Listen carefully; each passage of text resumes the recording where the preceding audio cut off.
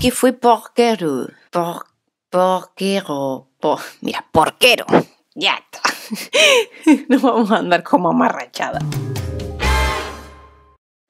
Pues sí, un día la escritora francesa Delphine Gay se hallaba en una reunión pues, en la que todos los asistentes hacían gala ¿no? de esa genealogía maravillosa ¿no? y se, pues, estaban ahí, eh, se, se, envanecían ¿no? de sus antepasados y tal. En un momento de silencio se oyó su voz que decía, pues entre mis antepasados había uno que fue porquero. Bueno, pues ante el asombro de todos los allí presentes, ella aclaró, me refiero a Félix Peretti, más conocido con el nombre de Papa Sixto V.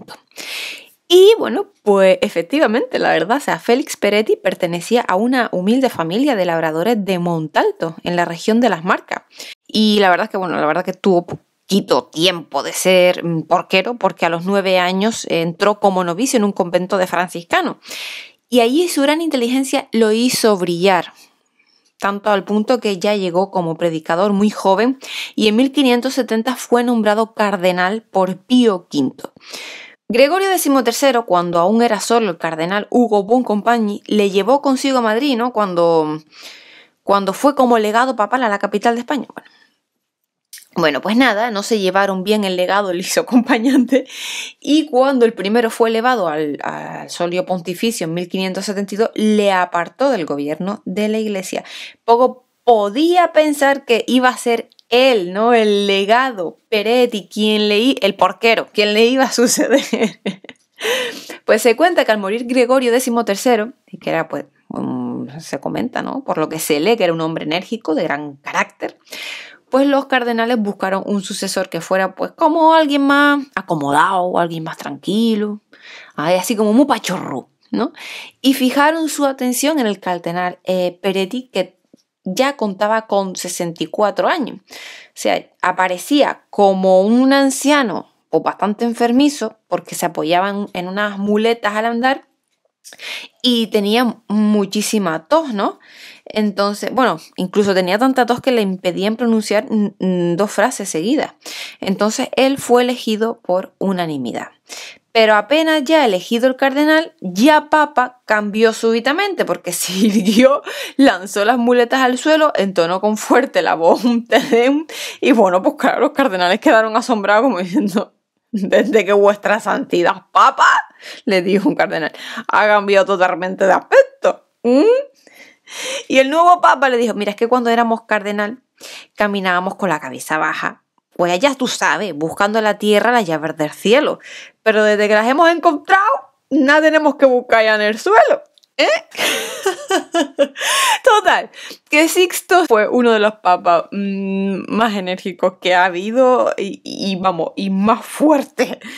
Eh, incluso hay un ejemplo que es que un día se presentó al pontífice una vieja quejándose de, de, un pleito ¿no? que tenía pues de hacía como unos 20 años que no se había solucionado para nada y, y, vamos, es que ni llevaba trazas de solucionarse en el poco tiempo que le quedaba de vida a la señora.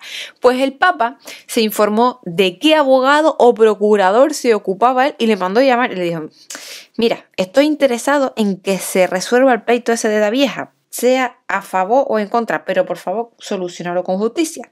Pues al día siguiente el letrado se presentó al Papa diciéndole que, según sus deseos, el pleito se había sentenciado.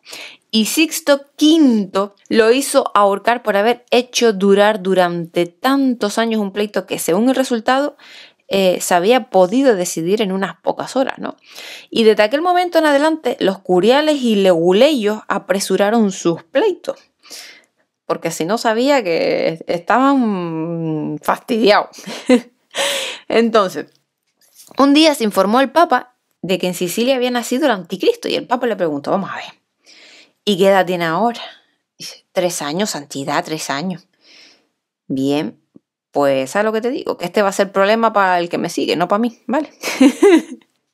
Ni qué decir tiene que el anticristo aquel no hizo jamás su aparición en la historia. Vamos, por favor, falta, falta decirlo.